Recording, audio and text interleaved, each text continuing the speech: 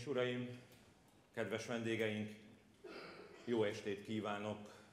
Nagyon sok szeretettel és tisztelettel köszöntöm Önöket Szolnok napja kiemelt rendezvényén, melyen városunk legmagasabb rangú kitüntetéseit adjuk át.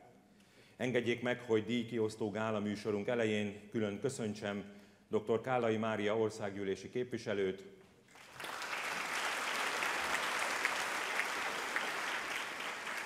Szalai Ferencet, Szolnok megyei jogú város polgármesterét, dr. Berkó Attillát, Jásznagykun Szolnok megye kormány megbízottját, Fehér Petrát és dr. Csór Györgyöt, a Jásznagykun Szolnok megyei közgyűlés alelnökeit,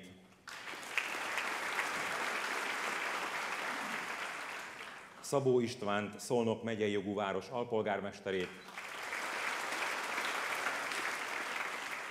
dr. Urbán Zoltán László rendőr dandártábornokot, Jásznagykun Szolnok megye rendőrfőkapitányát, Pécsváradi Szabolcs Béla ezredest, a Magyar Honvédség második vitéz Bertalan Árpád különleges rendeltetésű dandár helyettes parancsnokát, Csépke Andrást, a Mávstart ZRT vezérigazgatóját, Veszprémi Lászlót, a MÁV ZRT üzemeltetési vezérigazgató helyettesét, Grunda Miklós, a Mávstart ZRT szolnoki járműjavító igazgatóját, Kondor Balást, a MÁV forgalmi csomóponti főnökség vezetőjét.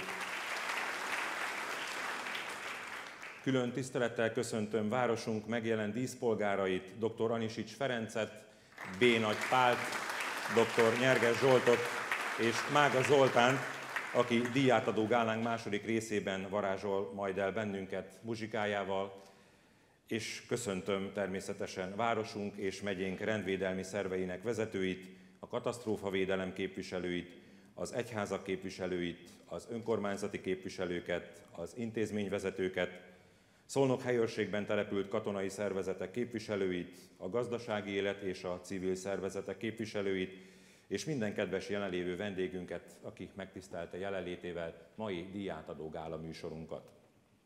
Tisztelt Hölgyeim és Uraim! Rendezvényünk elején a Bartók Béla Kamara kórussal együtt énekeltük el a himnuszt, köszönjük közreműködésüket. Szolnok megyei jogú város döntése alapján Szolnok városa a millennium évétől a Pest-Szolnok vasútvonal átadásának napját, szeptember 1-ét választotta a város napjává.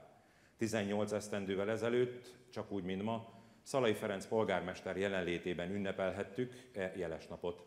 Felkérem polgármester urat, mondja el ünnepi gondolatait. Tisztelt képviselőasszony, kormány megbízott úr, és mindenki, aki ma jelen van, tisztelettel köszöntöm Önöket. Az egész város nevében hagy tegyem ezt, hiszen ez a mai nap Szolnok város egyik legjelesebb ünnepe. Az az ünnep, az a nap, ahol azokat az embereket tudjuk köszönteni, akik sok-sok felterjesztés alapján a legtöbbet tették, sokak gondolata fogalmazódik meg ebben, a városért ebben az évben. Elmúlt egy év, sok minden történt egy év alatt. Biztos, hogy mindenki összegzi ilyenkor, hogy mi minden történt saját magával is, mi minden történt a családjával, mi történt, hogy történt ebben az évben. Én, hogy összegyűjtöttem a történéseket, az egyik legfontosabb dolog az, hogy Kertész Robert régész megtalálta Szolnokot, a középkori Szolnokot.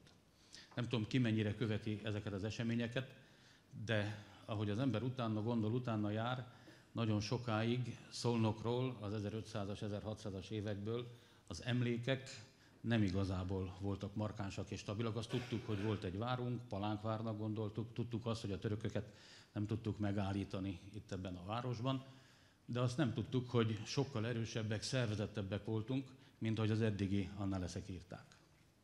A város már ezekben az időkben is ispánsági központ volt. Utána Szandzsák központ lett a törökök eh, idejében.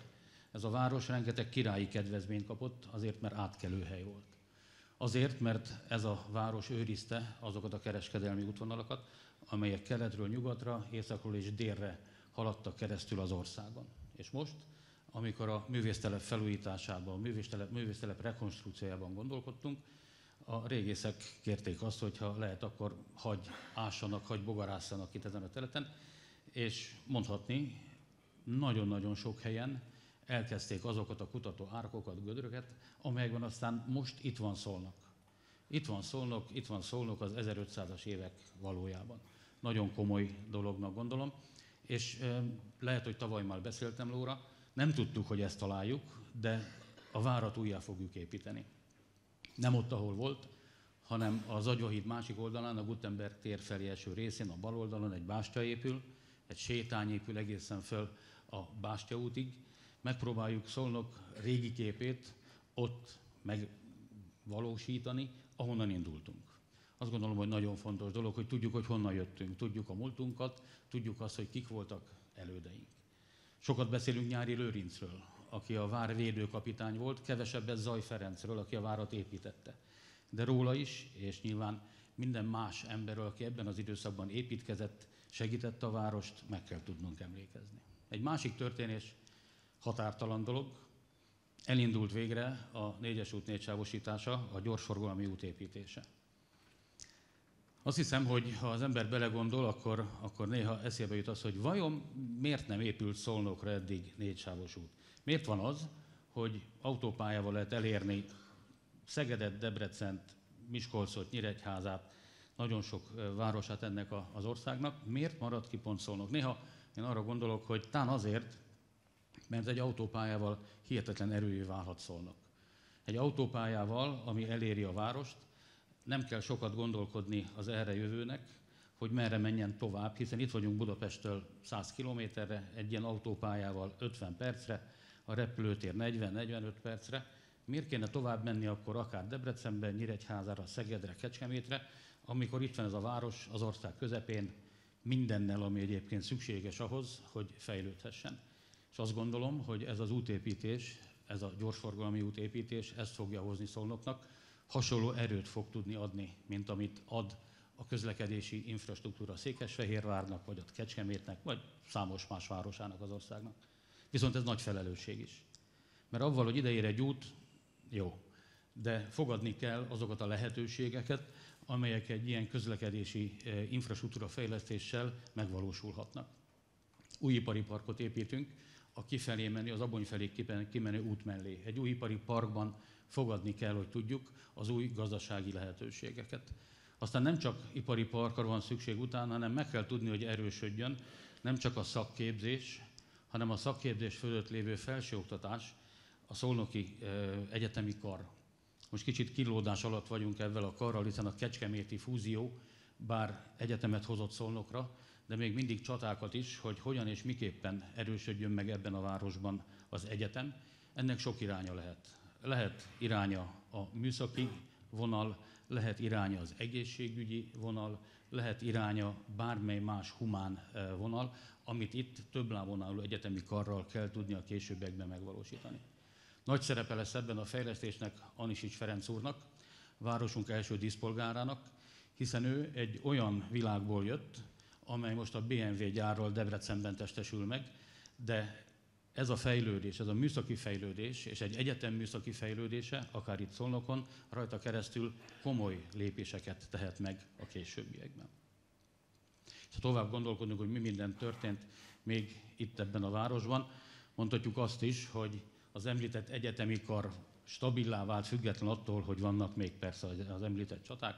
Mondhatjuk azt, hogy a város közössége, a város közélete, a város civil eh, szerveződései szintén erősebbek lettek sokkal. Rengeteg program, rendezvény bizonyítja ezt, rengeteg olyan megjelenési formája a civil életnek, ami a diákságtól, a nyugdíjasokig, a sporttól, a kultúrán át mindenhol megjelenik. Nagyon komoly dolog, nem tudom, közöttünk van-e Olá Csenge, ha itt van, köszöntöm, ha nincs, akkor innen köszöntöm. Olyan munkát végez a diákság szolnokon, diákközgyűléssel, diáktanácssal, gyermektanácssal, ami példaértékű. A döntés előkészítésekbe belefolynak, aktívan kérik azt, hogy belefolyhassanak, ötleteik vannak, gondolataik vannak. Ennek kapcsán mondhatjuk, hogy a Megaverse című produkció, az Ádámok és Évák produkció nagyon erős Szolnok városában, megy kiebb a városból, szerte az országban. 24 órás vetélkedőt szerveznek a gyerekek, szervezünk a gyerekeknek, és létrejön egy DOK nevű szórakozó hely lent a Tiszaparton, most már a második éve, mert ők igényelték a normális, kulturált szórakozást, nem pedig a hídlábánál való bármiféle, akár nemtelen szórakozási formákat is. Fontos dolog, hogy ilyen mértékben a gyerekeink belefolynak városunk életében, és a tegnapi nap 171 gyerek előtt eh, mondtuk el jegyzőasszonya köszönetet. 171 gyerek jött nyári munkára a város cégeihez, intézményeihez be a városházára is. 171 fiatalember, aki az ő elmondásaikból is tudom és mondhatom, nagyon büszkék arra, hogy dolgozhattak. Nagyon büszkék arra, hogy a városért bent különféle intézményeknél, cégeknél tehettek valamit. Nagyon komoly dolog, hogy úgy érzik, hogy a munka az egy fontos része kell, hogy legyen az életüknek, és ehhez kapcsolódik a Szolnok Hazavár program. A Szolnok Hazavár program először az egyetemistákra, főiskolásokra vonatkozott, jöjjenek vissza. Most kiterjesztettük a középfokú ö, oktatásra is, és 21-két fiatalemberrel tudtunk leülni, megkérdezni, hogy mi a véleményük arról, hogy egy mentor segítségével szolnoki cégeknél el tudtak helyezkedni. Csak pozitív példákat tudtak mondani a cégekről, intézményekről. És nem beszéltek bérről. Nem mondták el, hogy nekik mennyire fontos a fizetés. Nyilván fontos. Rá kellett kérdezni, és azt mondták, hogy a bérükkel is meg vannak elégedve, de a legfontosabb az, hogy a cégeken belül azok az emberek, akik fogadták őket, azok kedvesen fogadták őket, tanítani akarják őket, és értékelik azt, hogy szolnokiként itt egy szolnoki cégnél dolgoznak. És azt hiszem, hogy ha ezeket a, a, a dolgot a gyerekeinknél összerakjuk, akkor azt lehet érzékelni, hogy a gyerekeink itt Szolnok városában egészen jól tudják magukat érezni, hogyha fontosá tesszük őket, vagy fontosá teszik ők saját magukat. Nyilván lehet mondani, hogy elmennek, persze, elmennek, el is fognak menni egyetemre, főiskolára, akár még dolgozni is számos helyére az országban, világban. De a feladatunk az, hogy igazából sokan jöjjenek vissza. És a mai napon, amikor majd a díjazottakra kerül sor, nem kevesen vannak olyanok a díjazottak között, akik sokat tesznek azért, hogy olyan céget, olyan gazdasági társaságot vezetnek, ahova szívesen jöhetnek vissza a fiatalok Szolnok városába. A város kulturális élete is rendkívül erős.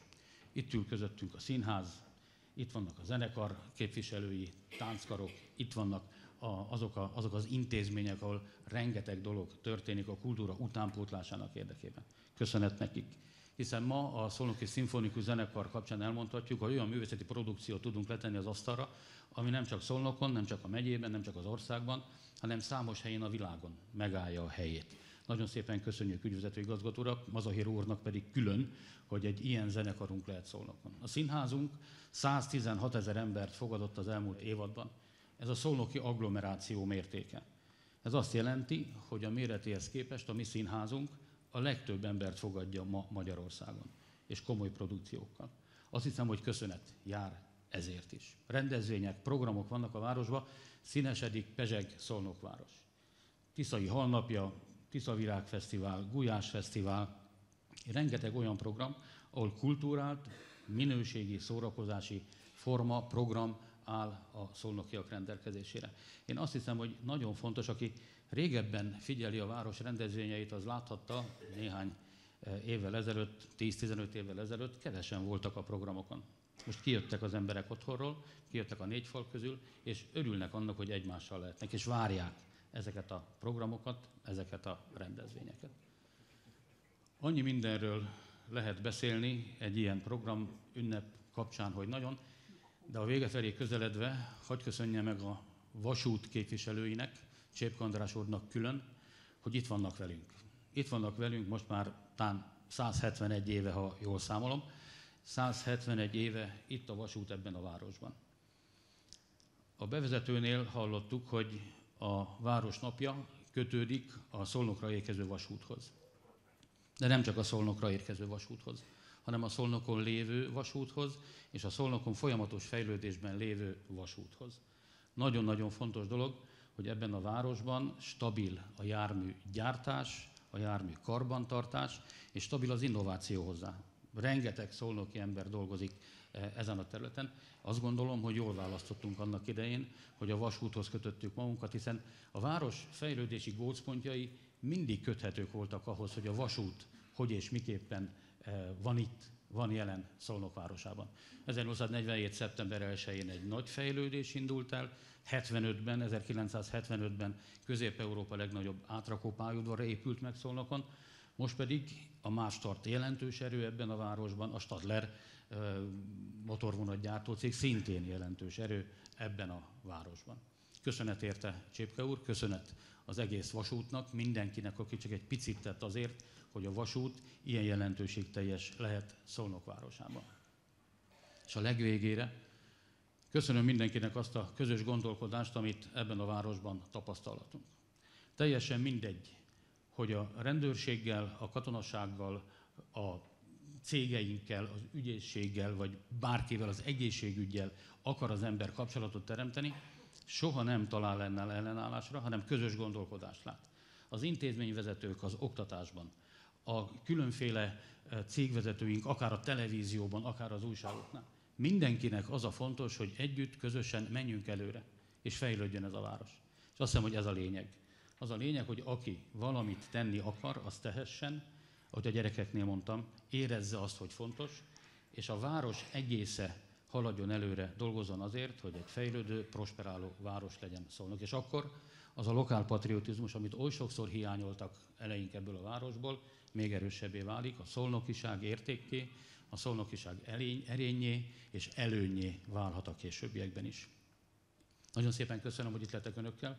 A díjazottaknak, majd mi halljuk, látjuk, hogy kik ők, előre külön szeretnék gratulálni, és köszönöm azt a példamutatást, amit rajtuk keresztül Szolnok városának be lehet mutatni, hogy igen, Szolnok városában is nagyon sok olyan ember van, aki az átlagnál jóval többet tud letenni az asztalra, nagyon komolyan teljesít, példaképeké váltak. Ezek a példaképek mindig eléállíthatók a város egész lakosságának.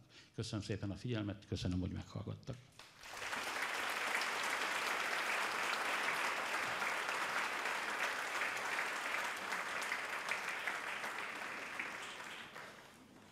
Polgármester úrnak köszönöm szépen mindannyiunk nevében ünnepi gondolatait. Egyúttal tisztelettel fel is kérem, hogy adja majd át azokat az elismeréseket, kitüntető címeket, amelyeket ő is említett, illetve amelyeket a következő percekben önök is megtudhatnak. Tisztelt Hölgyeim és Uraim! Szolnok megyei jogú város közgyűlése tisztelete és megbecsülése jeléül évente kiadható Kátai Endre díjat alapított azon személyek vagy közösség részére, akik vagy amelyek Szolnok városban végzett tartós és kimagasló tevékenységükkel jelentősen elősegítik vagy elősegítették a városban eltérő kulturális és szociális körülmények között élő emberek társadalmi együttélésének javítását, a társadalmi kohézió erősítését, hosszú időn keresztül segítséget nyújtanak vagy nyújtottak az esélyegyenlőség biztosításához, vagy a társadalmi helyzetből eredő hátrányok csökkentéséhez. A kitüntetés oklevélből és Révi Norbert szobrászművész által készített bronz plakettből áll. Mai első díjazottunk 40 esztendőn keresztül végezte városunkban szakmailag elhivatottan óvodapedagógiai tevékenységét. Jelenleg felmentési idejét tölti, hiszen ebben az évben korkedvezménnyel nyugdíjba vonul. Munkájában mindig is kulcsfontosságú érték volt a gyermekek feltétlen szeretete, elfogadása és mindenek felett álló érdekeinek érvényesítése. Pedagógiai tevékenységét a tudatos munkavégzés, a magabiztosság és korszerű szaktudás jellemezte. A Szolnokvárosi óvodák tanügyigazgatási igazgató helyetteseként jelentős szerepe volt a Szolnokvárosi óvodák integrációs gyakorlatának kialakításában, működtetésében, segítve a hátrányokkal küzdő gyermekek esélyegyenlőségének megvalósulását. Ennek érdekében egyebek mellett kidolgozta a Szolnokvárosi óvodák pedagógiai programjának integrációs részét, kiépítette az intézmény gyermekvédelmi rendszerét, tevékenyen részt vett Szolnok megyei jogú város integrációs munkacsoportjának munkájában. A hatóságokkal jó kapcsolatokat építve segítette a szükséges gyermekvédelmi tevékenységeket és intézkedéseket, évente pedig beszámolókkal segítette Szolnokváros integrációs, antiszegregációs gyermekjóléti tevékenységét. Szakmai elhivatottságáért, magas színvonalon végzett, példaértékű pedagógiai munkájáért, kollégáinak és a szülőknek is példát mutató emberi magatartásáért, valamint a szolnoki óvodások és szüleik társadalmi helyzetéből eredő hátrányok csökkentéséért Szolnok megyei jogú város Kátai Endre díját kapja Tótáné Tótéva. Bye.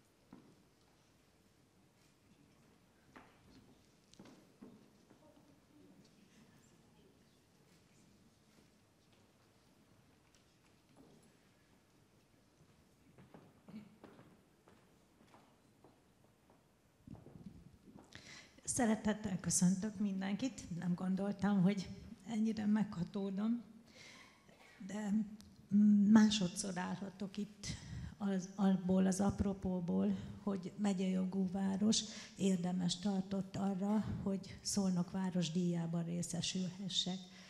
2001-ben kaptam meg nevelő munkámért a Szolnok város pedagógiai díját. Azt követően Három évvel ezelőtt vettem át a Brunswick Teréz díjat Budapesten miniszter úrtól. Most, amikor megkaptam az értesítést arról, hogy milyen, milyen alkalommal kell nekem ebbe a nagyon szép épületbe belépnem, nagyot néztem. Nem gondoltam, hogy létezhet olyan, hogy valaki másodszor állhat színpadra, és megköszönheti mindazoknak az elismerését, akivel tulajdonképpen végig együtt dolgozott, és, és én hiszem és vallom, hogy díjat csak az kaphat, aki tud mással közösen, közös célért, a város céljáért alkotó módon együtt dolgozni. Szerencsés és boldog ember lehetek. Szerencsém van, hiszen családi neveltetésemből adódóan, ami a felterjesztésből kimaradt, én egy kis településről származom, Péről, ahonnan Törőcsik Mari is származik. És ahogy a művésznő emlékszik a mi kis településünkről, azt tudom mondani, hogy azokat az értékeket, amiket ő emleget, hál' Istennek én is magaménak tudhatok és ez nagyon segített abban, hogy a másságot tudjam elfogadni, tudjam tisztelni, és tudjam szeretni a más embereket is. Hisz a mi iskolánkból tanyasi gyerekek is jártak, és sokszor támogattuk egymást azzal, hogy megosztottuk a tíz órainkat, vagy más egyéb dolgot, amiben nekik nem lehetett részük. Na ez az én munícióm, amit hordozok magammal.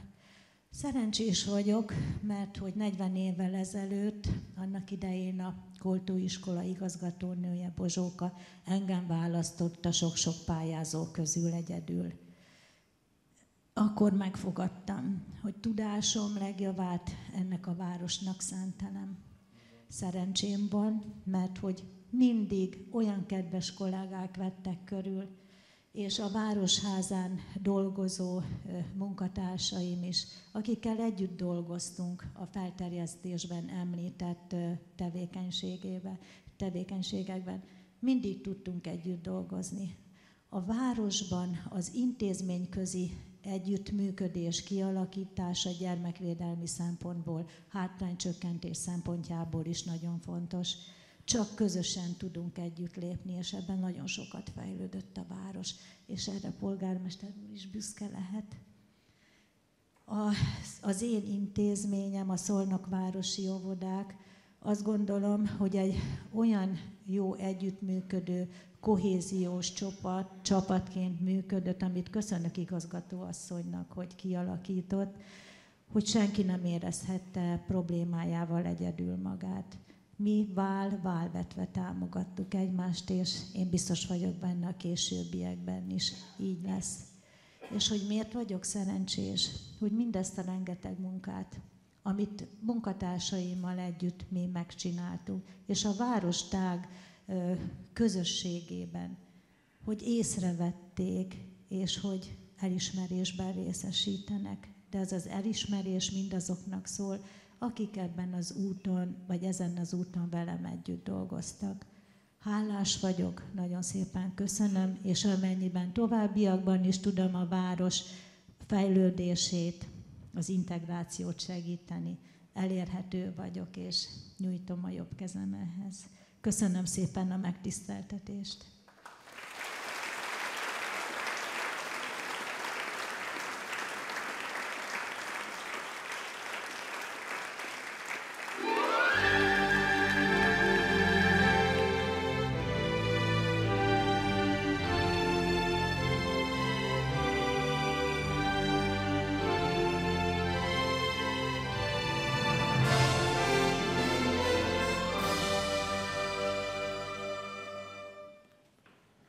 Tisztelt vendégeink, Szolnok megyei jogú város közgyűlése tiszteletének és megbecsülésének jeléül évente kiadható Gróf Szapári Gyula díjat alapított a város életében gazdasági téren kifejtett eredményes tevékenység elismeréseként. A Gróf Szapári Gyula díj adományozható azon Szolnok városában kiemelkedő gazdasági tevékenységet végző, példaértékű társadalmi szerepvállalással bíró, a Szolnokvárosban és agglomerációjában élő munkavállalókat foglalkoztató szolnoki székhelyű vagy telephelyű egyéni vállalkozó vagy gazdasági társaság részére, amely legalább két éve folyamatosan működik a megyeszékhelyen. A kitüntetés oklevélből és Szabó György munkácsi díjas szobrász és éremművész által készített bronzplakettből áll.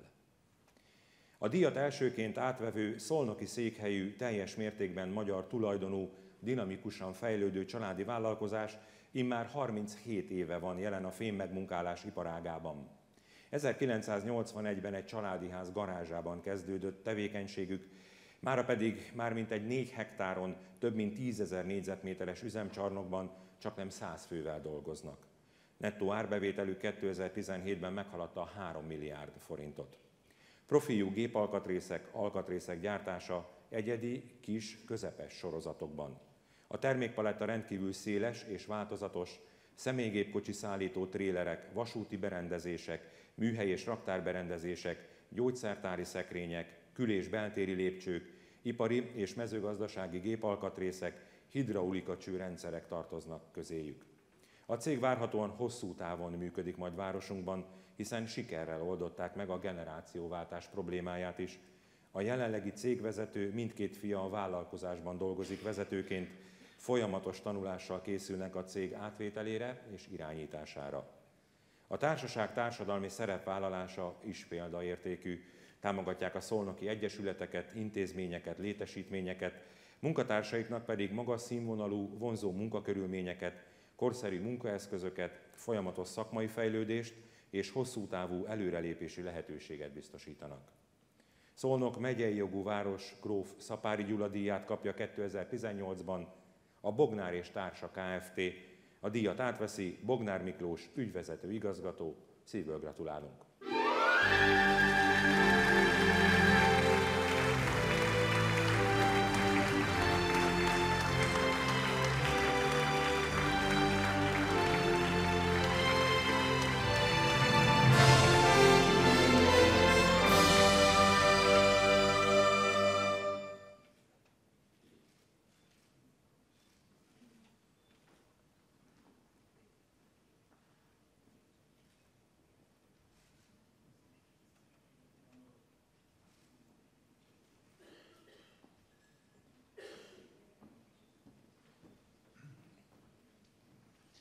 Először is köszönetet szeretnék mondani azoknak, akik ezt a díjat nekünk ítélték, és ezennel szeretném megköszönni azoknak, akik a több tíz éves munkámban támogatást nyújtottak. Elsősorban a családomnak és munkatársaimnak. Köszönöm szépen. Mi a nehézipar egyik ágában, a feldolgozóipar fémmegmunkálás szakágában dolgozunk. A nevében is benne van, hogy nehéz ipar. Nehéz ez a munka.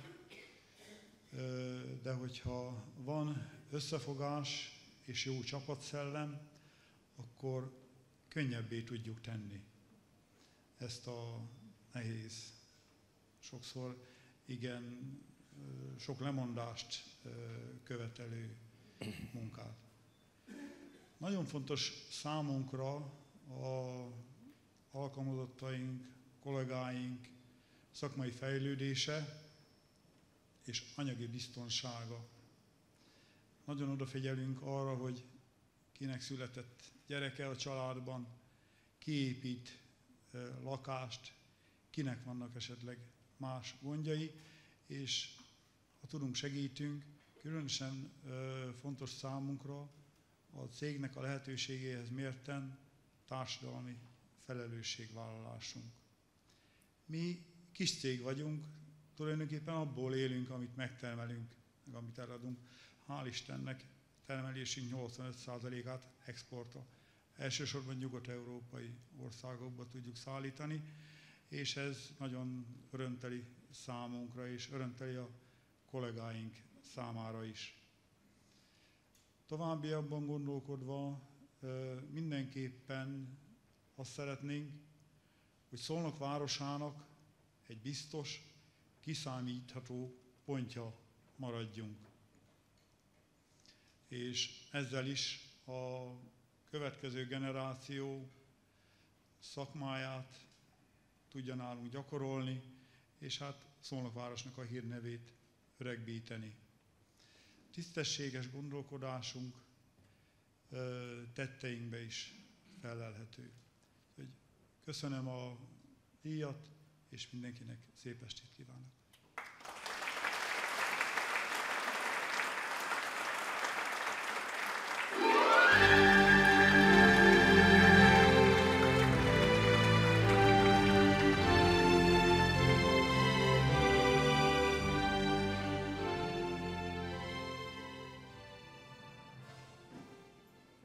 Következő díjazottunk évtizedek óta meghatározó szereplője a város gazdasági életének. A cég története ma már inkább történelemnek mondható.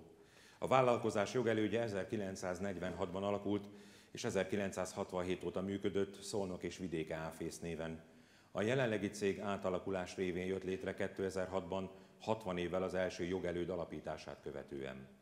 Központja Szolnokon van, de országos üzlethálózattal működik, és jelentős külföldi kapcsolatai is vannak. Nyugodtan kijelenthetjük, hogy a mai korszerű kereskedelmi gyakorlat kialakításának és terjesztésének országosan elismert úttörője. A cég vagyona a működés ideje alatt jelentősen emelkedett, jelenleg a saját tőke értéke meghaladja a 2 milliárd 400 millió forintot. A vállalkozás adózott eredménye 2017-ben meghaladta az 500 millió forintot. Az árbevétel folyamatosan emelkedik, és tavaly már több volt 27 milliárd forintnál. A gazdálkodó szervezet Szolnok jelentős foglalkoztatója, az országos hálózatban dolgozók létszáma 2017-ben folyamatos emelkedés követően 1429 volt.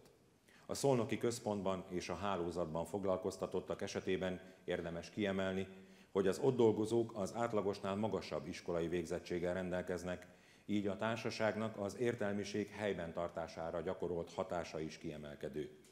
A cég társadalmi felelősségvállalása szintén átlag fölötti, gondoljunk csak az évek óta megrendezett kóp futásra, vagy a gyermekek nagy kedvencére, a minden decemberben városunk utcáin közlekedő Mikulás vonatra. Szolnok megyei jogú város Gróf Szapári Gyula díját kapja 2018-ban a Kóp Szolnok ZRT, a díjat átveszi Fekete Tibor vezérigazgató. Szívből gratulálunk!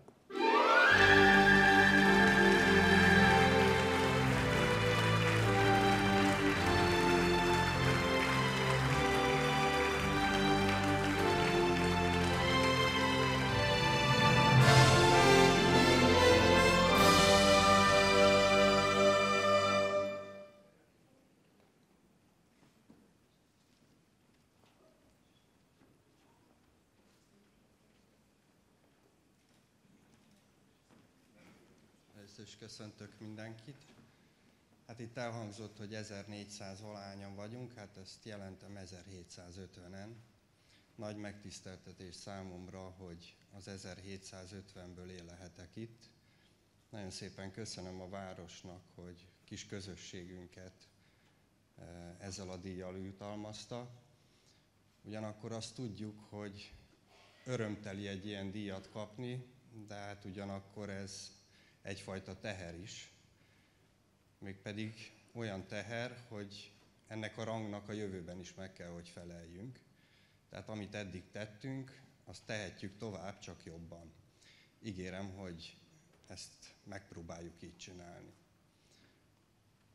És aztán végezetül egy teljesen más gondolatot hagy mondjak. E, idén augusztusban kis közösségünk alapított egy alapítványt, hiszen azért az 1750 ember közül mindig lehet olyan, aki esetlegesen bajba kerül. Ezt úgy neveztük el, hogy Kóp Szolnok a közösségért alapítvány.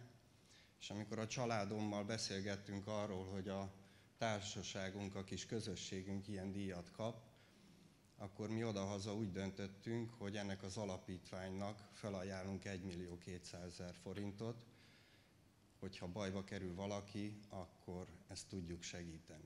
De hogy egyébként ebben a városban élünk, és itt a polgármester úr mondta, hogy van ilyen program, hogy szólnak hazavár, hát jelentem van olyan is, hogy tanulj, hogy boldogulj, és odahaza arról is döntöttünk, hogy tíz kisdiák e, éves ösztöndíját is szeretném mi kis családunk átvállalni, és szeretnénk a Szolnokváros Jövője Alapítványnak felajánlani szintén 1 millió 200 ezer forintot.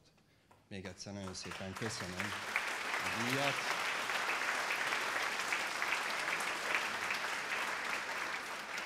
És a díjazottaknak, a többi díjazottnak is szívből gratulálok.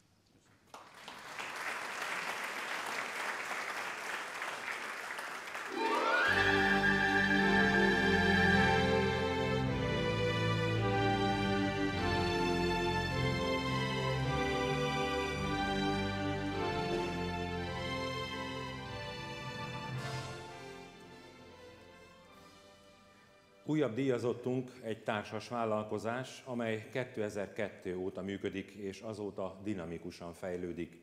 Innovatív tevékenységét jellemzi, hogy a termeltetésen túl ma már új gyártmányok fejlesztésével is eredményesen foglalkozik, és a termelésének több mint 95%-át a világpiacon értékesíti.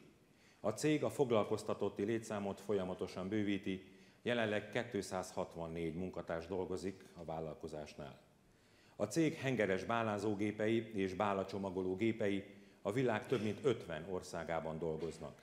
A folyamatos tesztelés mellett a legújabb lézer és robottechnológiát alkalmazva gyártják termékeiket. A termelés kulcsfontosságú jellemzői a gyártás során minden felhasznált alkatrész pontosan nyomon követhető, valamint minden gépet letesztelnek, bejáratnak és beállítanak, még mielőtt azok elhagynák a gyárat. A vállalkozás példaértékűen vesz részt a társadalmi szerepvállalásban, kiemelten támogatja a Szolnoki Szimfonikus Zenekart, a Szolnoki Sportcentrumot és a Szertelen Fiatalokért Szolnok Közhasznú Egyesületet. Az elért sikerekkel a mezőgazdasági gépgyártás tradíciói tovább erősödnek, és viszik Szolnokváros jó hírét a világ minden tájára. Szolnok megyei jogú város Gróf Szapári Gyula díját kapja 2018-ban a Meghél Hungária Kft. A díjat átveszi Kis Tamás ügyvezető igazgató. Szívből gratulálunk!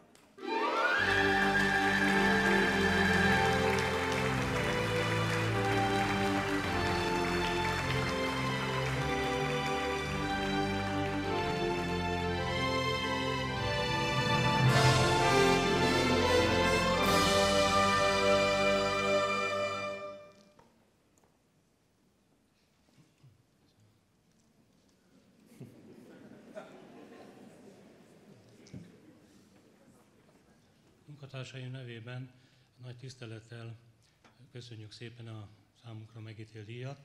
Igazán komoly elismerésnek gondoljuk, és nagyon szépen köszönjük. Egy vállalkozás, hogyha sikeres akar lenni, úgy gondolom sok dologra van szüksége. Két dologra biztosan, hogy keményen dolgozzon folyamatosan, és hogy szerencsés legyen.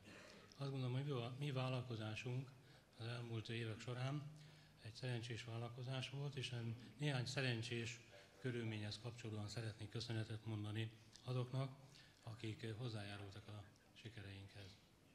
Az első ilyen szerencsés körülmény, ír munkatársaink gyakran mondják, hogy milyen szerencsés vagyok, mert kiváló dolgozóink vannak, nagyszerű munkatársak vannak. Hát igen, valóban szerencsés vagyok. Azt kell, hogy mondjam, szakmájukat értő, elkötelezett munkatársakkal dolgozunk, és elsősorban ezért az ír nekik jár a köszönet. Köszönöm szépen a munkatársaimnak. A másik ilyen szerencsés körülmény ahhoz a pozitív vállalkozóbarát működési környezethez kapcsolódik, ami a működésünk során végig tapasztalata volt, és a város biztosította ezt. Őszintén mondom, bármibe fogtunk, bármilyen beruházásba vagy projektba kezdtünk el, vagy esetleg problémánk volt, a városban mindig támogatókra, segítőkre találtunk. Köszönet illeti ezért a város vezetését, az itt működő szervezeteket, hatóságokat, szakhatóságokat és az üzleti partnereinket is. A harmadik igen szerencsés körülmény az indulásunkhoz kapcsolódik. 14 évvel ezelőtt indítottuk újra a mezőgazdasági gépgyártást, és akkor nagy szerencsénk volt, hogy egy kialakult, már meglévő mezőgazdasági gépgyártási szakmakultúrára tudtuk építeni az indulásunkat. Úgy gondolom, hogy ez a szerencsés körülmény az évtizedekig itt dolgozó korábbi elődeinknek, a mezőgépes dolgozóknak köszönhető, úgyhogy ezen én szeretném nekik is megköszönni ezt a, ezt a lehetőséget, illetve ezt a kialakított szakmakultúrát, és külön szeretném kiemelni dr. Sziráki Análás elnök urat, aki a szakma nagy elkötelezettje, és mindvégig támogatta a törekvésünket. Köszönöm szépen még egyszer díjat a közgyűlésnek, köszönöm, hogy meghallgattak, és hasonló sok szerencsét kívánok mindenkinek.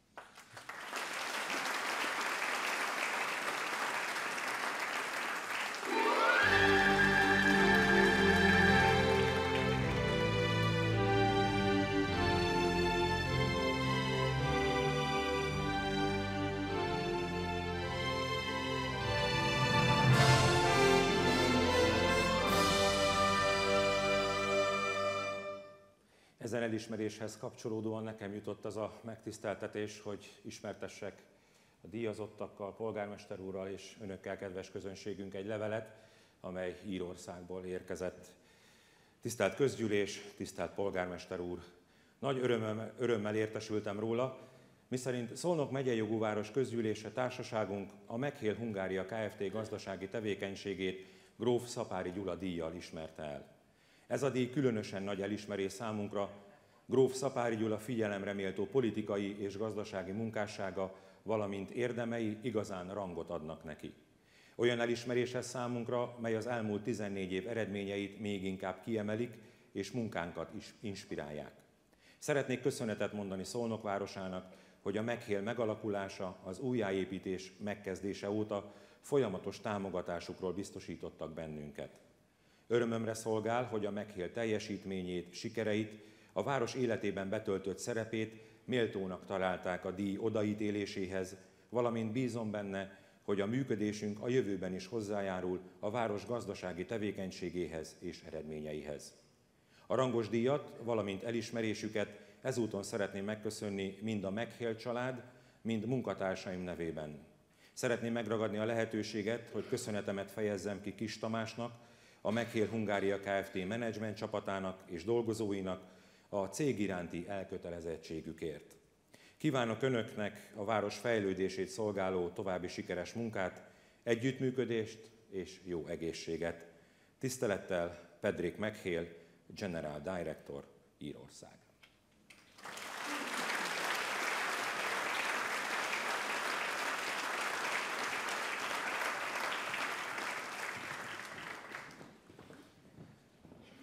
Tisztelt vendégeink, a következőkben városunk két legrangosabb díjának, az Ezüstpelikán díjnak és a Szolnok díszpolgári címnek az átadása következik.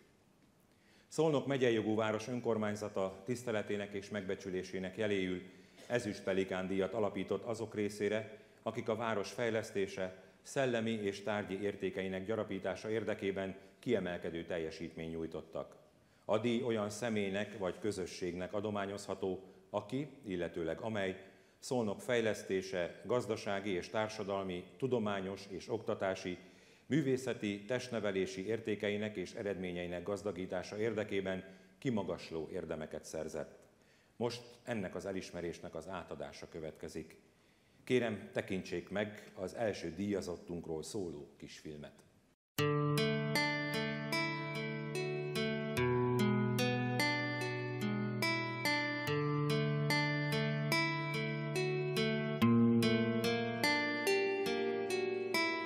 Születési okmányai szerint 80 esztendős, bár aktivitását látva és tapasztalva ez nehezen hihető. Hat gyermekes családba születik Török Szent Miklóson. Jászberényben érettségizik, de 56 októbere Bonyhádon találja, ahol csatlakozik a nemzetőrséghez. A Miskolci Nehézipari Műszaki Egyetemen bányageológus mérnöki oklevelet szerez, diplomamunkájának elkészítése veti szolnokra. A kőolaj termelővállalatnak a központja is itt volt a Körösi úton, és oda át kellett menjek adatokat beszerezni, vagy valamilyen célból, és a geológiai osztály vezetője Vándorfi Robert utána üzent a Miskolci Egyetemre a tanszékvezetőnek, Csókás professzornak, hogy szeretné, hogyha hozzánk jöhetne Szalóki. Nem volt kiosztva, hogy ide is lehet jönni, ezért aztán elintézték, hogy ide jöhessek, én meg örömmel jöttem, miután család, nagyszülők, szülők, Jászberény, Szolnok és ezen a vidéken voltak, így kerültem Szolnokra, a Nagyarföldi Kőolajtermelő Vállalat központjába. Egészen alulról indulva 1990-ben a vállalat vezérigazgatója, majd vezérigazgató helyettese az 1991. október 1-ével megalakult MOL RT-nek. Tengisztől az északi tengeren át Dallasig mindenhol ott van, ahol olajat, földgázt bányásznak. Közeli ismerőse a Kennedy klán néhány tagjának, leendő amerikai elnökkel diskurál.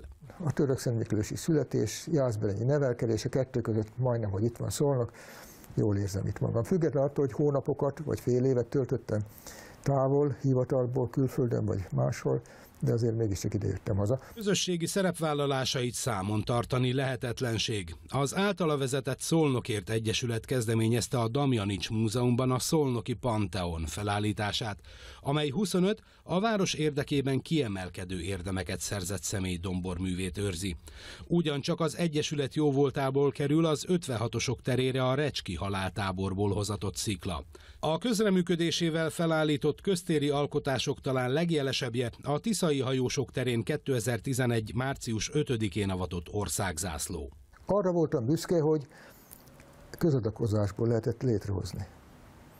Vállalatok, magánszemélyek. Az 500 forintot felajánló Marinéni neve is ott szerepel a országzászló mögött, mint a 2-3 millió forintot adó adományozó vállalaté.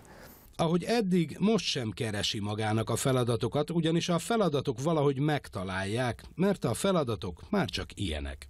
Aki csak magának él, az nem él teljes életet. Ezt hiszem és vallom, véletlenszerűen is, meg tudatosan is, de úgy, úgy nem tartottam sohasem elegendőnek, hogy elvégzem a munkámat, fölveszem a fizetésemet és kész. Akin tudok, segítek, kis csoportoknak, magánszemélynek, nagy csoportnak, a közösségnek, és ha lehet, akkor szolgálom a közjót, ennyire egyszerűnek tartom, és, és ez mindig, mindig inspirál valamire, hogy ha lehet, akkor tegyek. 2018-ban ezüst Pelikándíjban részesül dr. Szalóki István.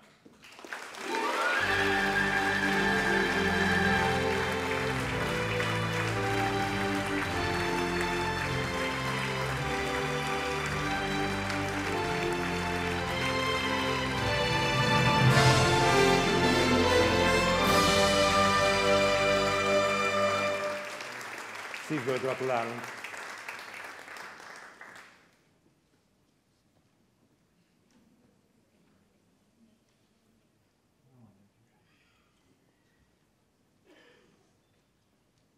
Estét kívánok, hölgyeim és uraim! Az előzmények után nem tehetem meg, hogy ne szóljak, mert hát nagyon kilógnék a sorból. Egy ilyen szituációban azt hiszem mindenki számára, így részemre is első gondolat a köszönet. Köszönetet mondok azoknak, akik előterjesztettek erre a magas elismerésre, Köszönet a bírálóknak, akik foglalkoztak vele, és köszönet a közgyűlésnek, Szolnok megyei jogúváros közgyűlésének, hogy elfogadta azt, és nekem ítélték. Ezen túlmenően tekintettel arra, hogy nem 10-20 éve dolgozom csupán, hanem évtizedekkel korábban kezdtem, koromnál fogva ezt már megengedhettem. Köszönetet kell mondjak a felsoroltakon kívül sok másnak is. Hogy támogattak, mögöttem álltak, függetlenül attól, hogy vannak rossz tulajdonságaim, akaratos, meg hasonló jelzők, sőt, szarkasztikusnak is mondtak már, de hát a jó Isten ilyen, ilyen, ilyet is teremtett, úgy látszik. Éppen ezért köszönetet mondok, akik évtizedeken keresztül mellettem voltak, támogattak, elsősorban a szűkebb és tárt, tágabb értelembe vett családomnak, feleségemnek, aki sajnos nem tudott eljönni. Köszönetet mondok az egykori olajipari munkatársaimnak, akik nélkül nem tudtam volna az ország legnagyobb profitját termelő vállalatnak az eredményét elérni, részt venni a MOLRT létrehozásában, és ott felelősségteljes munkát vállalni. Köszönetet mondok a vállalaton kívül egyéb civil szervezeteknek. Nem szeretnék elkalandozni, mint őseink. Kalandozó életmódot folytattak, mert nem voltak korlátok, és többi. Én a zsebembe tettem egy korlátot, hogy nehogy túlzottan igénybe vegyem a kedves türelmüket szakmai szervezeteknek, melyeknek évtizedek óta tagja voltam, és vagyok, Magyar Geofizikusok Egyesülete és a többinek, akiknek a támogatását élvezhettem munkám során. Civil szervezetek közül az itt említett Szolnokért Egyesületnek, melynek tíz évig voltam vezetője, és amely beolvadt a keresztény kulturális egyletbe. Köszönöm nekik. Köszönöm a közösen Jász-Nagykun Szolnok megyéért egy, eh, baráti egyesületnek, akinek az egyik alelnök társa Mága Zoltán itt fog szerepelni nem sokára. Utoljára, de nem utolsó sorban szeretném megköszönni, hogy ne húzzam sokáig a névsort a Rotary Klubnak. 19 éve mögöttem állnak. Az felsoroltakból felsoroltak számából már is látszik, hogy senki sem ér el önmagában eredményeket. Ott kell mögötte, mellette álljanak mások. Ez az ő érdemük is. Egy ilyen elismerés, egy ilyen kitüntetés, mert nem egyéni emberi munka. A köszöneteken túlmenően engedjék meg, hogy kifejtsek egy gondolatot, amit már ugyan a Rotary Mecénás díj kuratóriuma vezetőjeként máskor, máshol már, ha úgy tetszik, elsütöttem a pénzzel, a vagyonnal bánni, még inkább azt birtokolni, nagy felelősséget jelent a társadalom felé. Afelé a társadalom felé, mely nélkül tulajdonképpen értelmetlen volna akár a vagyon, akár a pénz, nem lehetne vele mit csinálni. Éppen ezért kötelessége, aki ilyen szituációban van, az említetteket támogatni, a közjót segíteni. Ezért nagyon örülök így mondom a béreséknek, akiknek volt szerencsém két, cég, két alkalommal már Rotary mecénás díjat eljuttatni, átadni. Kötelességünk tehát a rászorulókat és mindenkit, aki illet támogatni, és ezt tettem büszkén annak idén vállalatvezetőként is, nem egy szemében, hanem kollégáimmal együtt. Támogattunk egészségügyet, oktatást, kultúrát, sportot, művészetet, hogy ne gondoljak másra, mint a Feszti körképre, vagy akár a nem messze szolnokon álló Szigligeti szoborra.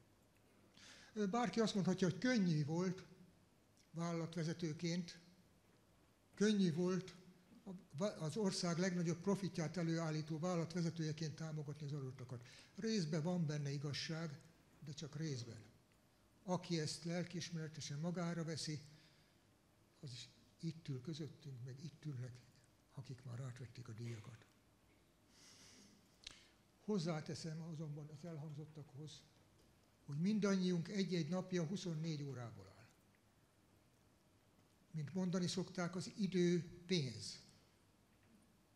Tehát aki idővel rendelkezik, már pedig mindannyiunknak van 24 órája, pénzzel rendelkezik, az idő pénzzel. Nem szabad elfecsérelni, nem szabad vele visszaélni, kötelességünk a közjót szolgálni, és másokat is segíteni. Remélem, hogy 80 után is találok még feladatokat, vagy ha nem, elhangzott már itt a hátam mögött egyszer, a feladat legtöbbször megtalál engem is. Nem él teljes életet az, szintén elhangzott meggyőződésem, aki csak magának él. Aki unatkozik, tétlenkedik, a társadalom ellen követel bűnt. Annak a bizonyos időpénznek az elfecsérelése, ahelyett, hogy jóra fordítanám, ez szerintem elítélendő. A jogaink érvényesítését ne helyezzük a kötelességeink teljesítése elé. Ne vegyünk ki, ha lehet, többet abból a kosárból, amibe kevesebbet tettünk. Mérsékeljük magunkat, ha lehetséges. Akik az előzőek szerint gondolkodnak, hasonló megfontolások alapján élnek, fiatalokra gondolok elsősorban, akik hasonlóan tevékenykednek, annak az útja akár ide vagy hasonló helyre is vezethet. Társadalmi elismerés fogja illetni őket. Kívánom mindenkinek a sikeres, közjót szolgáló út megtételét. Köszönöm. Figyelmük megtisztelő volt.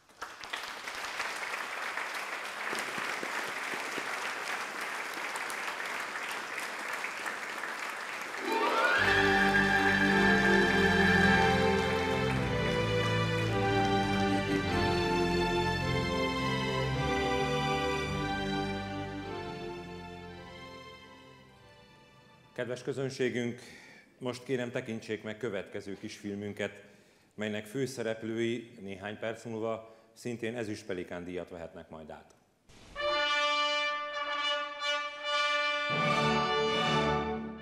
A több mint fél évszázada működő Szolnoki Szimfonikus Zenekar Jásznagykun Szolnok megye térségének egyetlen hivatásos szimfonikus zenekara. Küldetése a komoly zene, a kultúra magas színvonalú közvetítése és az ifjúság zenei nevelése. A menedzsment és Izaki Masahiro japán dirigens egy évtizede irányítja a művészeti munkát. Ahogyan mondják, az elmúlt tíz évben annyit fejlődött a zenekar, mint mások 50 év alatt. A fejlesztés, a művészeti fejlesztés, mindig az új kihívások keresése, ez határozza meg az életünket. Az utolsó tíz évre ez, ez ez a, ez a mondat, vagy ez a, ez, a, ez a gondolat írható le. Állandóan fejlesztünk, állandóan gondolkozunk, és újat és újat, mindig újat és megújulás, ez az, ez az irányunk. A zenekar a lehető legmagasabb mércét követi nap, mint nap. Ehhez szükség van egy ugyanolyan kvalitásokkal rendelkező menedzsmentre is. A zenekarnak a tagjai nagyon magas kvalitású emberek, és tiszteletben kell tartani ezt a kvalitást, ezt a tudást hogyha a másik oldalon hiány lenne a kvalitásból, akkor nem tudnánk így működni. Én nagyon-nagyon meg vagyok elégedve a kollégáimmal, mint a gazdasági vonalon, mint a, a egyéb kiszolgáló, tehát a, a szervezési oldalról megközelítve kimagasló munkát végeznek, jó felkészült szakembereink vannak. El lehet mondani, hogy ez a zenekar az országban egyedül amatőr szimfonikus zenekarból fölkerült a tabellára, majd minősült, és ezen a tabellán jelenleg a legmagasabb szintre, a nemzeti minősítésre pályázunk. Természetesen a zenekar arculatát és szakmai minőségét azt a művészeti vezető, a főzeneigazgató koncepciója határozza meg. Pályázatunkban, amikor a KFT menedzsmentjére pályáztunk, ezt hirdettük, ezt fogalmaztuk meg.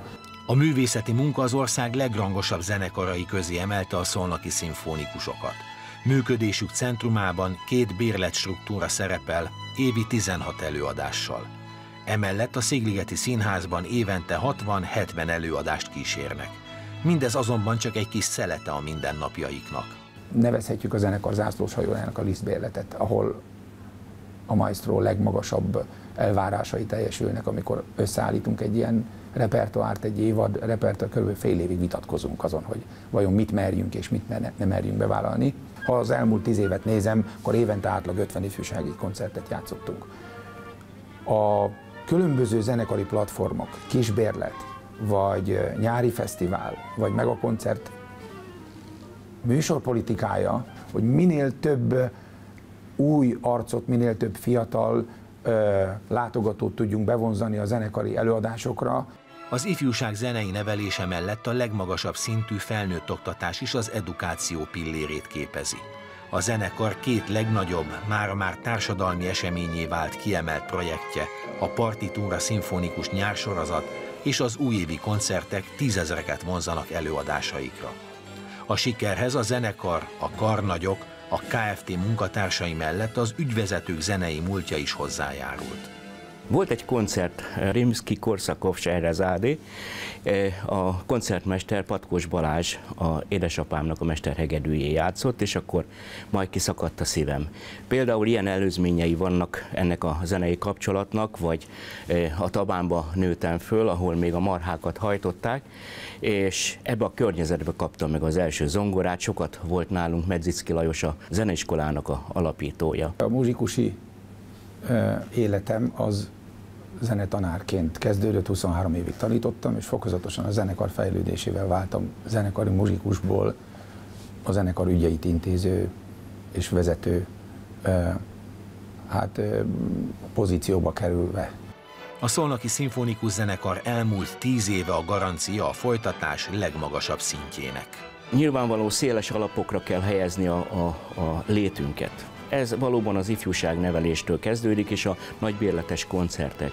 De egy zenekarnak az is hivatása, hogy a térségben, az országban és az országon kívül vigye a tulajdonos fenntartó azt mondhatnám, Szolnok város hírnevét. És nekünk ez a legfőbb célunk, ez a legfőbb küldetésünk, hogy ha tetszik, világszínvonalra vigyük a Szolnoki Szimfonikus Zenekart, ezáltal Szolnok városát.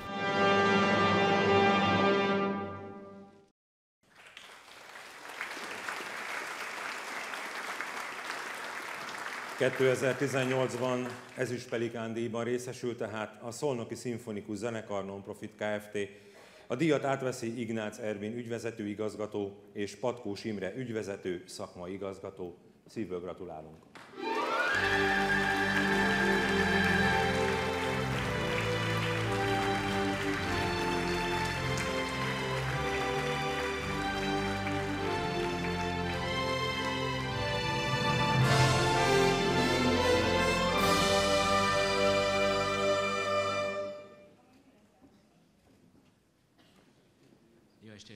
Kapni mindig jó érzés. Nekem azért is különleges, mert ennek a díjnak az alapításánál részese voltam, illetve közreműködője voltam.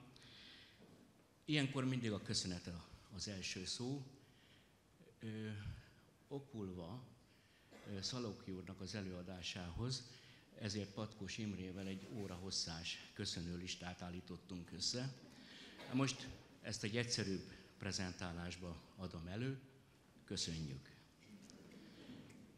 De nem kerülhetem meg, hogy három kört ne köszöntsek meg, illetve ne emeljek ki. 1927-ben tartotta az első koncertjét a Szolnoki Szimfonikus Zenekar, akkor Szolnok városa alig 20 ezres város volt. 1927, majd 1960-ig nem nagyon tudunk róluk, utána Bíró Attila, majd 1965-ben, onnan datáljuk a hivatalos megalakulását, Bali József vezette a zenekart. 2008-tól, tehát köszönet a múltnak, köszönet, tisztelet az elődeinknek. 2008-tól az előadó művészeti törvény megjelenése óta gyakorlatilag ez a menedzsment irányítja a zenekart. És itt, itt nagyon szeretném kiemelni, ahogy a filmben is említettem, a művészeket. Köszönjük a művészeknek, köszönjük a kollégáknak a munkát. A harmadik dolog, amit akiknek szeretném megköszönni a munkájukat, az nem is munka, hanem önök, a hallgatóság. Tényleg azt mondhatom, hogy tízezrek hallgatnak bennünket, nagy örömünkre szolgál, mert hogyha önök nincsenek, akkor öncélúvá válnánk. Ezt az öncélúságot pedig nagyon el akarjuk kerülni. Úgyhogy mi valljuk azt, hogy az is megtörténik kultúrában, Magyarországon, ami az agyvatisza torkolatában történik, vagy cselekszünk.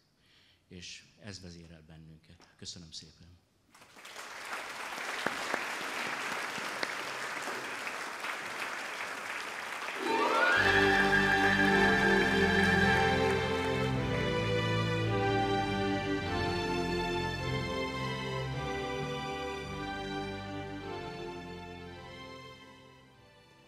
Tisztelt Hölgyeim és Uraim!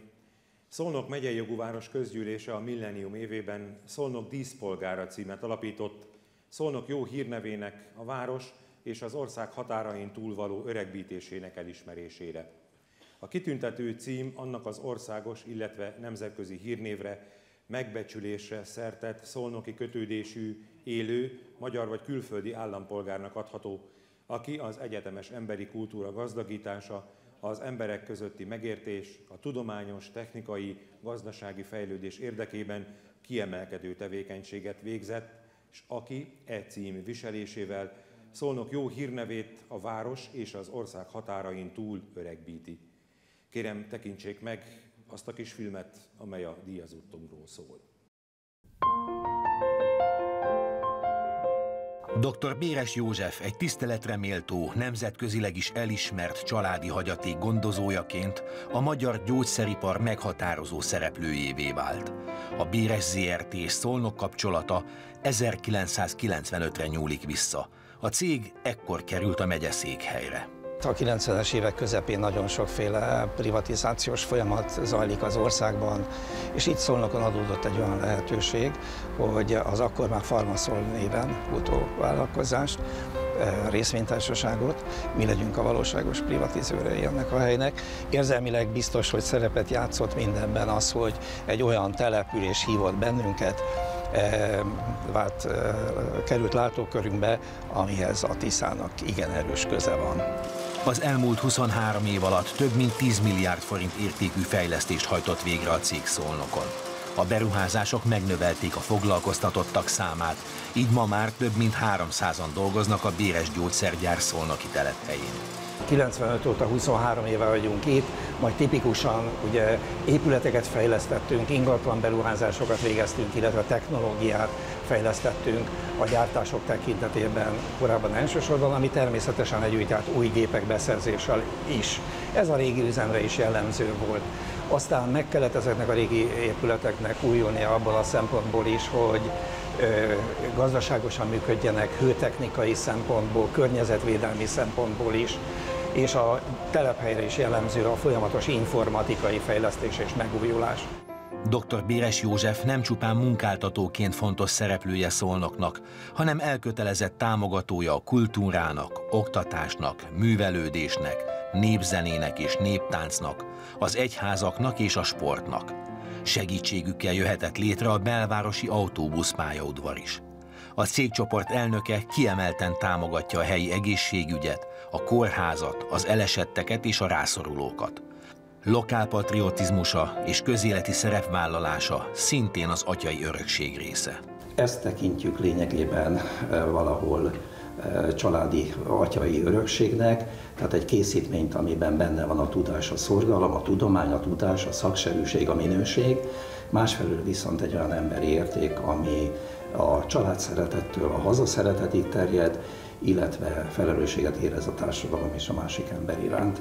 Ugyanakkor például egy alapítványi tevékenységgel mindazt a erkölcsiséget, a másik emberi, a társadalmi érzett felelősséget próbáljuk kifejezni, ami már az ő életében akár gyerektortól, de különös tekintettel felnőtt korára, a béresebb hányattartott periódusára jellemző volt. Dr. Béres József a Béres gyógyszergyár ismertségét és magas presztízsét számtalan alkalommal állítja Szolnok városi javára. Az általa képviselt hitelesség többször összekapcsolódik városunkkal. Szívünkön viseltük mindig azt is, hogy a városnak az arculatához, kulturális értékeihez, ne talántán szabatéri szobraihoz is hozzájáruljunk. És amikor 2012-ben elérkezett az, hogy a Béres Csepp 40 éves lett, akkor fejünkben, a mi fejünkben is, feleségem fejében is, de a város fejében, város vezetőinek, polgármester úrnak és az önkormányzat a képviselőtestület fejében is megfordult az, hogy közösen a város önkormányzatával a Béres gyógyszerjár létrehozzon egy műalkotást. Dr. Béres József a hazai és a szolnoki gazdasági élet egyik meghatározó személyisége, a megyeszékhely kulturális életének mecénása. Ahogy szoktuk mondani a saját céges hitvallásunkban vagy krédunkban, hogy a gondolat legyen jó és igaz, hogy sikerült, vagy nekünk egy, egy jó és igaz gondolat jutott.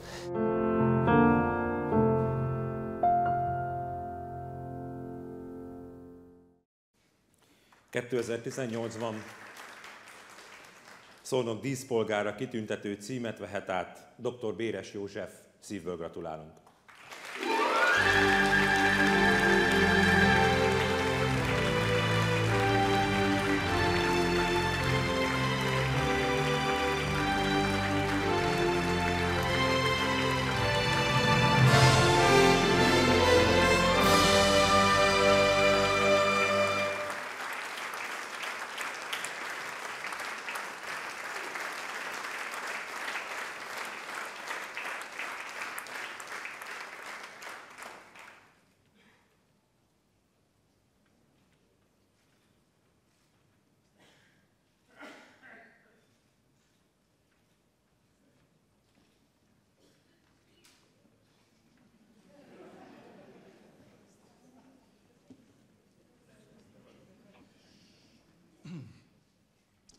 Polgármester úr, tisztelt Hölgyeim és Uraim! Hát szeretettel köszöntök én is mindenkit. Amikor hitelt érdemlő forrásból megtudtam, hogy ezt a címet ebben az évben én kapom meg, akkor első sorban arra gondoltam, hogy ez egy rendkívül megtisztelő dolog számomra. De elsősorban annak a szépségét vagy súlyát éreztem, hogy ez egy nagyon nagy megtiszteltetés számomra város felől. Aztán eltöltött engem az öröm, hogy ennek bizony örülni kell, bár számos kitüntetésem van már, de ennek nagyon kell örülni ennek a díjnak.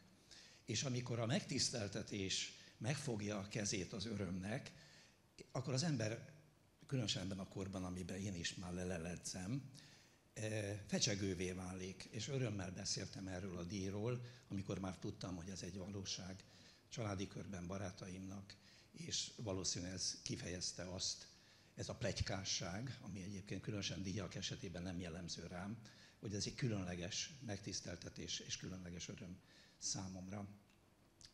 Köszönjük természetesen mindazoknak, akiknek eszükbe jutottam, jutottunk a díj ötletgazdáinak, vagy személy szerint a cím megkapójaként az ötletgazdának, aki ránk gondolt, és természetesen gond, köszönjük polgármester úr, vezette képviselőtestületnek, a közgyűlésnek is, hogy ráütötte erre a gondolatra, erre a felterjesztésre, folyamatra a pecsétet. Amikor egy díjról van szó, bármilyen díjról van szó, boncolgathatjuk azokat az apró kérdő mondatokat, hogy milyen díjat, kitől, ki és miért kap. Ez esetben az első két mikrokérdésre adott válasz teljesen a helyből adódóan e, értelmezhető, de az, hogy ki és miért, ez talán szorulhat némi e, magyarázatra, még ebben a körben egy ilyen rövid film bemutatása után is. Úgy gondolom, hogy most én szorongatom ezt a e, Szolnok város diszpolgára címet kifejező szobrot, de túl kell néznem önmagamon. Túl kell nézni önmagamon, gondolni kell elsősorban édesapámra, de talán édesapám előtt is a mennyei atyára kell gondolnom. A mennyei királyra, aki itt van fölöttünk, és vezeti sorsunkat és az életünket. De ha édesapámra gondolok, akkor ő tette le a kézjegyét és e, a vállalkozást ide társaival együtt természetesen e, szolnokra. Tehát a dicsőség és az érdem, és hogy ki is kapja ezt a díjat, az a mennyei királlyal és az én földi királyommal, a földi atyámmal kezdődik. Aztán nem szabad megfeledkeznem feleségemről, hisz itt van velem, és a sikeres emberek, mondjuk ezt így időzőjelben, mellett mindig vannak rendes asszonyok, akik támogatják, elősegítik, tolják az embert ezen az úton. 41 éves házasok vagyunk, a feleségem ez alatt az idő alatt bőven inspirált már. És meg kell emlékezzek természetesen családomról, kollégáimról, kollégáimról, vezetőinkről, akik itt ülnek. És nem csak a szolnokiakról, hanem a budapestiekről, a miskolciakról, és nem csak a béres gyógyszergyár dolgozóiról, hanem mindazokról, akik a béres csoportban, legyen az gyógyszernagykereskedelem, vagy akár borászat, eh, dolgozik, hisz ezek az emberek együttesen adják a nagy béresi ideát vagy imást, és így együttesen vagyunk talán jó szolgái is ennek a, az országnak. Errefelé, vége felé járok, errefelé mondják, ezt valóban helyi emberektől lestem el ezt a gondolatot egy könyvből nemrégiben, hogy az érdemes ember híre túléli az érdemes embert. Helyesebben, az érdemes embert a híre túléli. Ez nem a mi dolgunk, az ezzel való foglalkozás. Nagyon szép dolog ez, nagyon szép mondás, nagyon szép gondolat mindez, de tennivalónk nem ezzel van számunkra elsősorban. Ez a jövő generációkon, a bennünket követőkön múlik, hogy hogyan gondolkodnak majd rólunk, rólam, édesapámról, társaságunkról, kollégákról, a béres családról. Ami a mi dolgunk viszont, ehelyen is ígéretet tenni polgármester úrnak, a településnek, az itt élőknek, önöknek, hogy azt a munkát, amelyet 23 éve végzünk, ezt a jövőben is folytatjuk. Apropó, ki is maradt az a, arra a kérdésre adott válasz, hogy miért is kaptuk ezt a díjat. 23 éve vagyunk itt, eh, próbáljuk munkánkat, próbáltuk és próbáljuk munkánkat a szakmaiságra alapozva végezni. Ez a tudományt jelenti, a gyógyszerészi tudományt, az orvostudományt jelenti, de mindenképpen a szakmaiságot jelenti. Ez alatt a 23 év alatt a Béresi Szolnokon elő, elért egy mennyiségi fejlődést, hisz többünk van, nagyobbak vagyunk, többen vagyunk, mint ahányan voltunk 23 évvel ezelőtt. Mindezt ugyanakkor egy megkérdőjelezhetetlen, vagy kikezdhetetlen, vagy, vagy mindenképpen notóriusan vállalt minőségi egyében tettük. És nem csak a munkát tettük jól, hanem van egy olyan elkölcsi mércém nekem, jó atyámnak, családomnak, vállalatainknak, dolgozóinknak, hogy ezt etikusan próbáljuk tenni. Az üzleti és az emberi etika nyom, ö, nyomvonalát követe. Úgy gondolom, részben nem az én dolgom megadni a miértre mindig a választ, de talán ez is benne van. Tehát az érdemes embert a híre túléli, nem a mi dolgunk, de ígéretet teszünk önök előtt, hogy a munkánkat a továbban is ebben a mederben fogjuk folytatni. Köszönöm szépen megtisztelő figyelmüket. Köszönöm.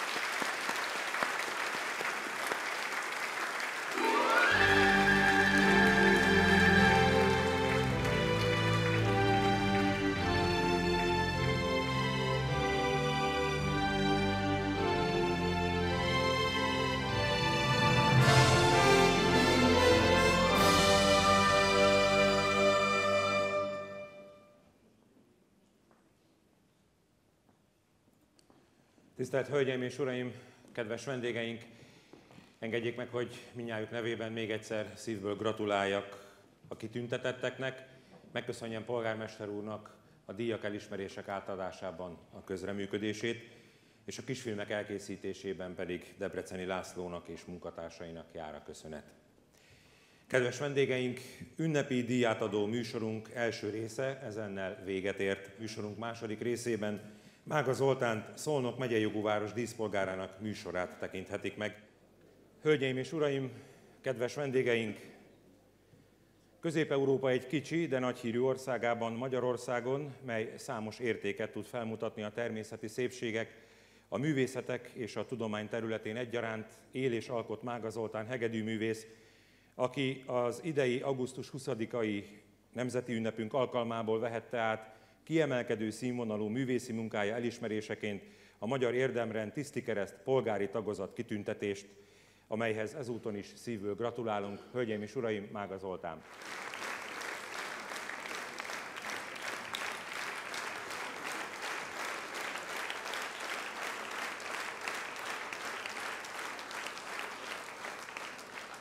Mága Zoltán Prima Primissima díjas hegedűművész első ökumenikus karitatív misszióját 2009. augusztus 18-án Erdő Péter bíboros, primás, Esztergom budapesti érsek áldásával a Szent István bazilikából indította útjára, és a századik jubileumi előadást pedig két évvel később, 2011. augusztus 21-én tartotta a bazilika előtt a Szent István téren.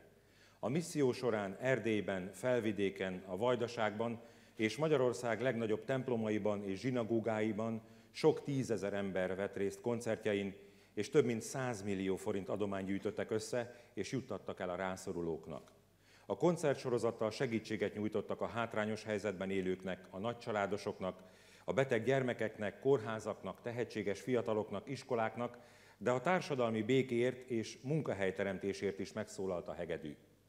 Az emberek összefogásával segítettek olyan családokon is, akiknek szerettei életüket áldozták a békéért, a rendért és közbiztonságért, a támogatást, azonnali segítséget nyújtottak az árvíz és a vörösiszap katasztrófa károsultjainak is.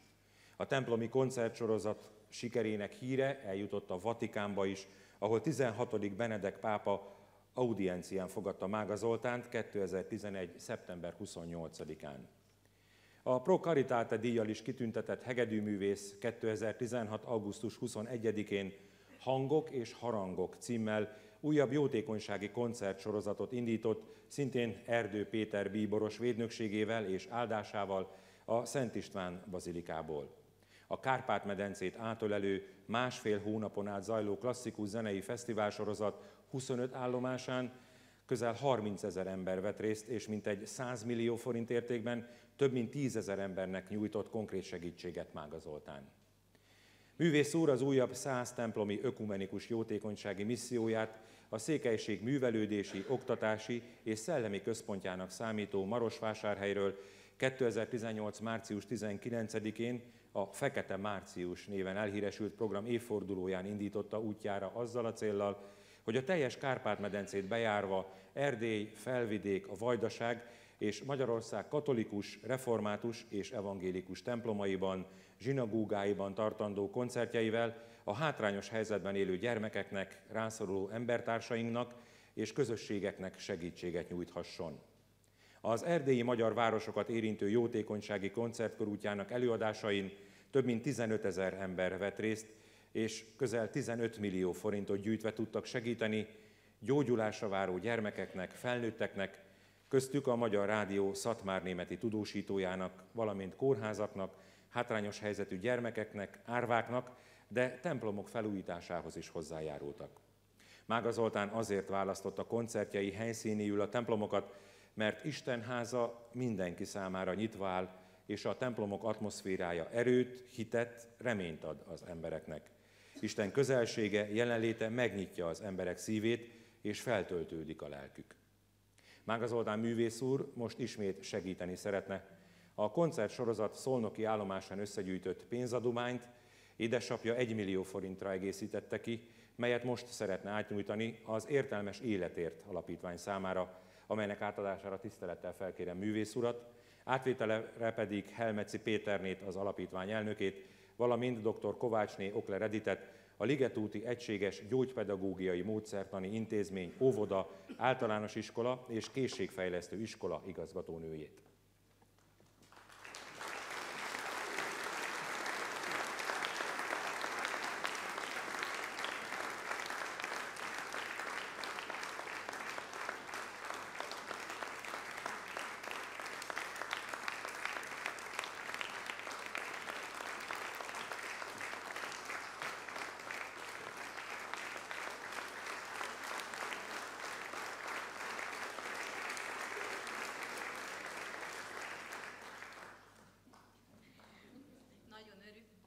Nagyon örülünk ennek a pénzjutalomnak, adománynak, és ezt, a, ezt az összeget az értelmileg akadályozott és autista gyerekek óvodai csoportjának a fejlesztőjátékok és az udvari játékok vásárlására fogjuk felhasználni, ezzel is elősegítve az ők szabadidős e tevékenységüket, illetve mozgásfejlesztésüket.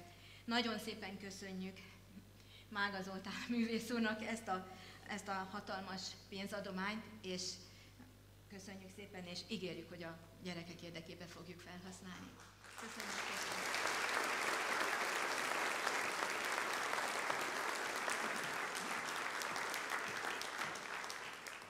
Művész úrnak és édesapjának ezúton köszönjük az alapítvány nevében is felajánlását, és a megható pillanatok után, kedves közönségünk, következzék a gála műsor. Mága Zoltán egyedi első hallásra azonnal felismerhető virtuóz játékát, a klasszikus zene, a népzene, a popzene és egyéb irányzatok ötvözésével kialakított jellegzetes crossover stílusát világszerte elismerik, méltatják. Művészi repertoárja a népzenétől a klasszikus darabokon át a jazzig, sőt a könnyű zenéig terjed. Művészetének jellemzői a virtuozitás, az átütő erő, a lélek mélyéből fakadó adnivágyás és a remény, hogy a zene és az abban megjelenő szeretet eszköz lehet a világ jobbátételéhez. Mága Zoltán célja, hogy több millió embert varázsoljon el a koncertek alkalmával, és hogy minden korosztály megtapasztalhassa a klasszikus, a könnyű és a népzene szépségét, a magyar zenei kultúra egyetemességét. A gála előadáshoz jó szórakozást kívánunk!